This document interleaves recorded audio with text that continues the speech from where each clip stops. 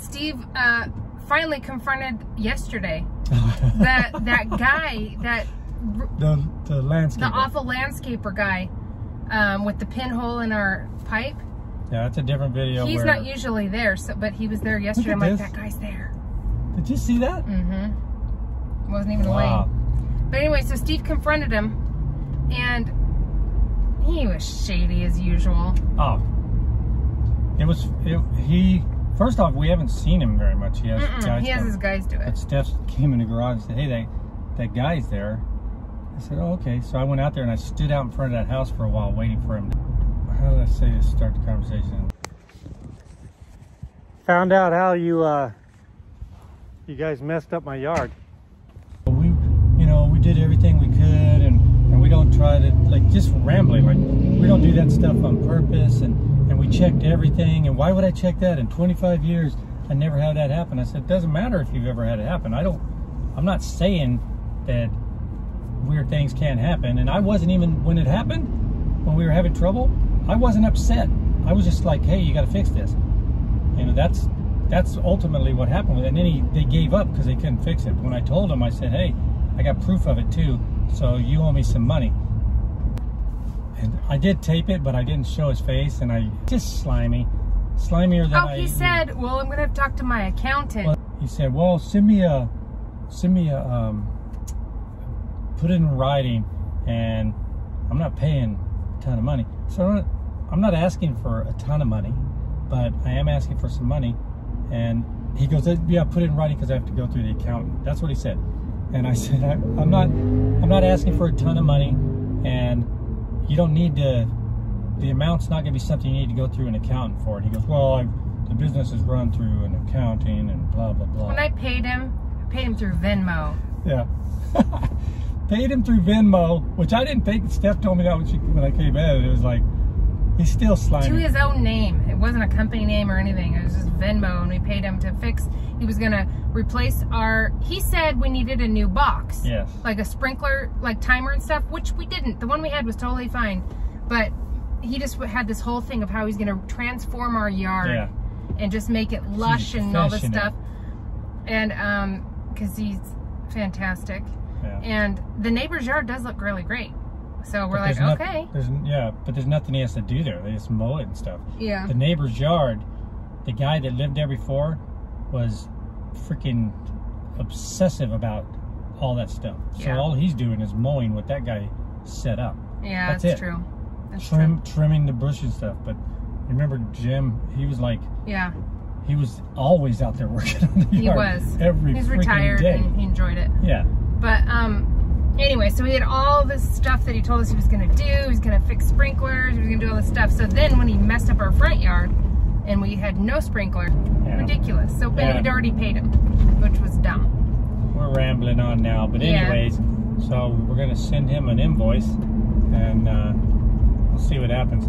I'm hoping he just ignores me, and then we can go to court, and then I don't know how you get on Judge Here's Judy, but I'd love to do we that. We do is we send him a bill through Venmo, a pay request. That's what we Yes. can do because I'm already buddies with him on there. That's a good idea. and then we'll just send him like 200 bucks or something.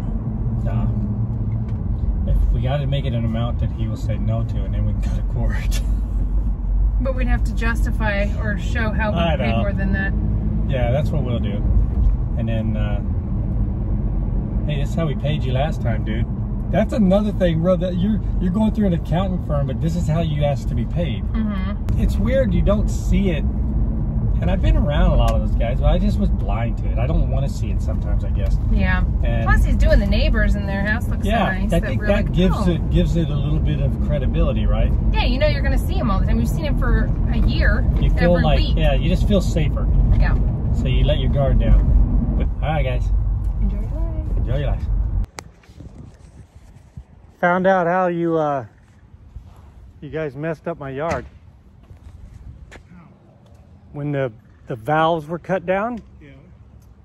when they glued it back, the glue made the hole like a pinhole. A new guy was trying to figure it out, and then after he checked through the the yard, the the actual sprinklers, he went and started checking those, and sure enough, the one that goes to the front, it was literally like a pinhole.